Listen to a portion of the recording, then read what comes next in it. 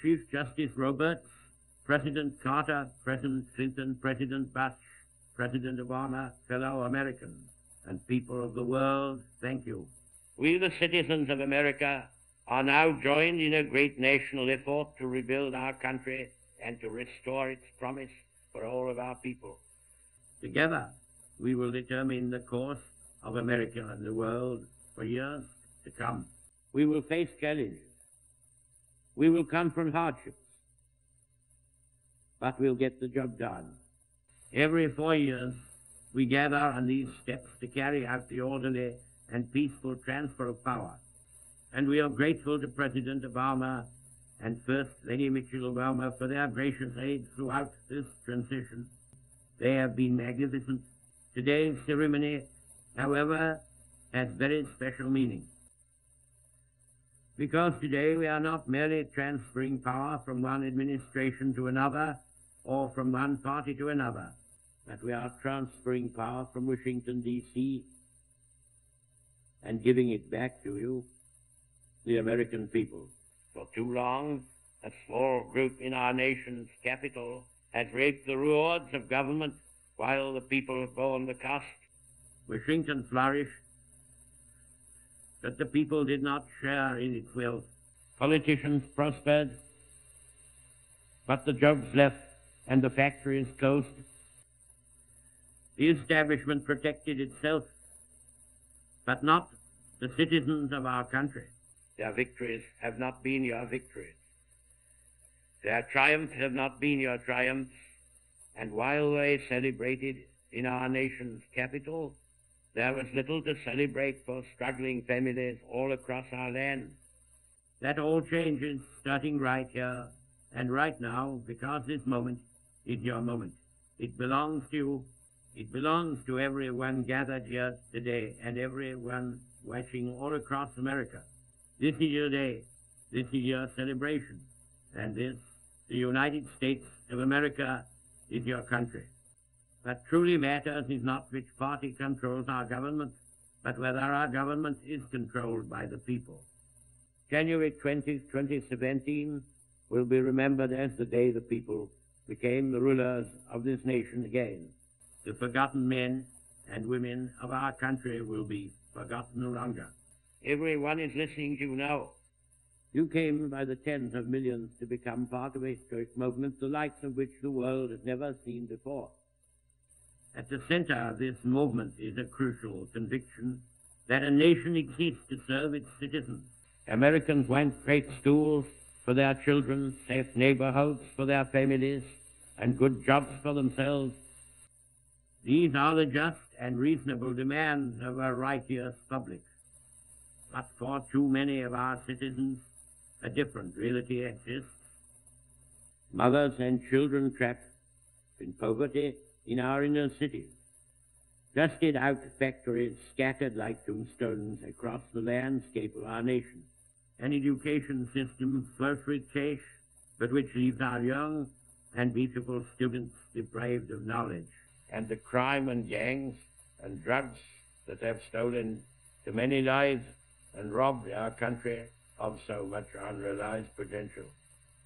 This American carnage stops right here and stops right now. We are one nation, and their pain is our pain. Their dreams are our dreams, and their success will be our success.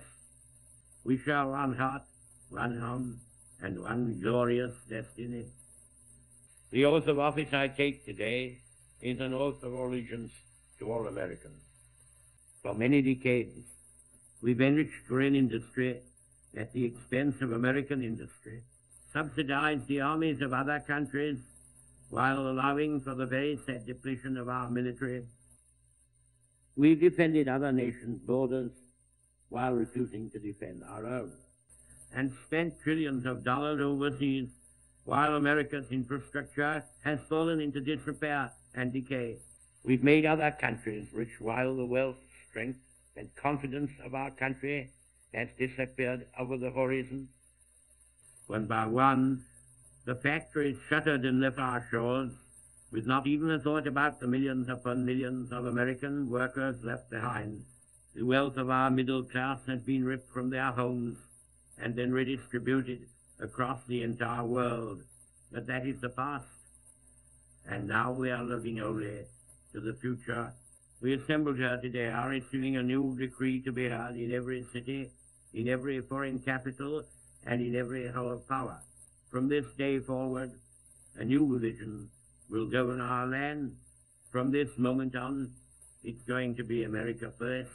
Every decision on trade, on taxes, on immigration, on foreign affairs will be made to benefit American workers and American families. We must protect our borders from the ravages of other countries making our products, stealing our companies, and destroying our jobs. Protection will lead to great prosperity and strength.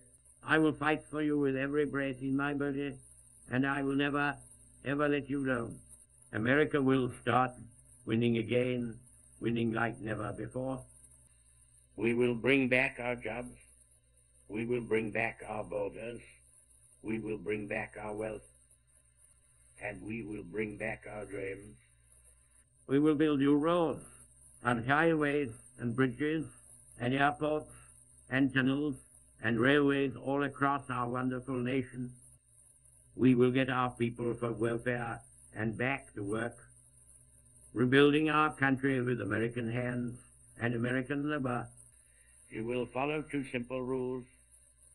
Buy American and our American, we will seek friendship and goodwill with the nations of the world, but we do so with the understanding that it is the right of all nations to put their own interests first.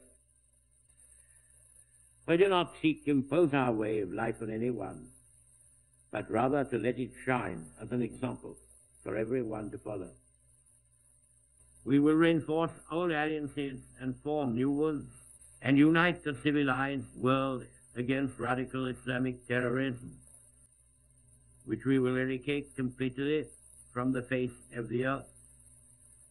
At the bedrock of our politics will be a total allegiance to the United States of America. And through our loyalty to our country, we will rediscover our loyalty to each other. When you open your heart to patriotism, there is no room for prejudice. The Bible tells us how good and pleasant it is when God's people live together in unity. We must speak our minds openly, debate our disagreements honestly, but always pursue solidarity. When America is united, America is totally unstoppable. There should be no fear. We are protected, and we will always be protected. We will be protected by the great men and women of our military and law enforcement, and most importantly, we are protected by God. Finally, we must think big and dream even bigger. In America, we understand that a nation is only living as long as it is striving. We will no longer accept politicians who are all talk and no action, constantly complaining but never doing anything about it. The time for empty talk is over. Now arrives the hour of action. Do not let anyone tell you it cannot be done. No challenge can match the heart and fight and spirit of America. We will not fail. Our country will thrive and prosper again. We stand at the birth of a new millennium, ready to unlock the mysteries of space, to free the earth from the miseries of disease, and to harness the energies, industries, and technologies of tomorrow. A new national pride will stir our souls, lift our sights, and heal our divisions. It is time to remember that old wisdom our soldiers will never forget that whether we are black or brown or white, we all bleed the same blood of patriots. We all enjoy the same glorious freedoms, and we all salute the same great American flag. And whether a child is born in the urban sprawl of Detroit or the windswept plains of Nebraska, they look up at the same night sky. They fill their heart with the same dreams, and they are infused with the breath of life by the same Almighty Creator. So all Americans, in every city near and far, small and large, from mountain to mountain and from ocean to ocean are these words. You will never be ignored again. Your voice, your hopes, and your dreams will define our American destiny, and your courage and goodness and love will forever guide us along the way. Together, we will make America strong again. We will make America wealthy again. We will make America proud again. We will make America safe again. And youth, together we will make America great again. Thank you. God bless you. And God bless America.